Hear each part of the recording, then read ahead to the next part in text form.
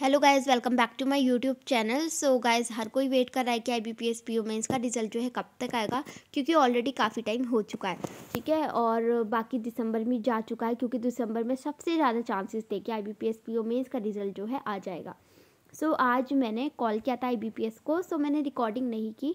अगर आप चाहते हैं सो so, मैं कल कॉल करके दोबारा से रिकॉर्डिंग कर लूँगी ठीक है?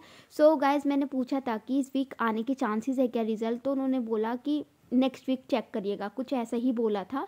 सो so गाइज़ इससे तो यही लगता है कि इस वीक भी आपके चांसेस कम है I B P S P O mains का रिज़ल्ट आने के। ठीक है नेक्स्ट वीक जो है सबसे ज़्यादा चांसेस है I B P S P O mains का रिज़ल्ट आने के।